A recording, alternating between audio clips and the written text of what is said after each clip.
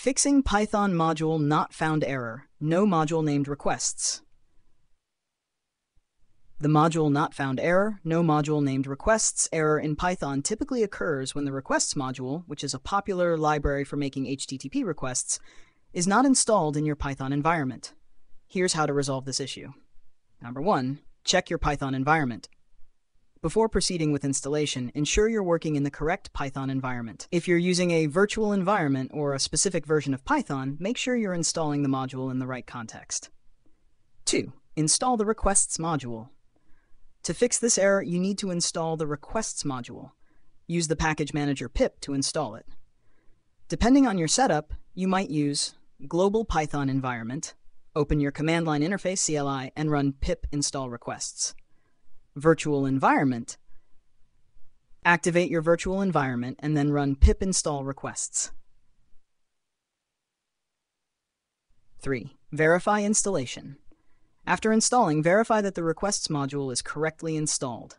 You can check this by running pip list in your CLI, which should show requests in the list of installed packages.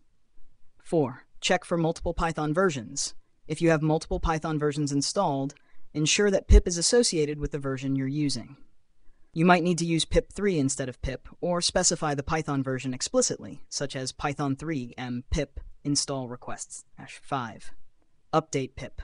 Sometimes issues with pip can prevent proper installation of packages. Ensure your pip is up to date by running pip install upgrade pip and then try installing the requests module again.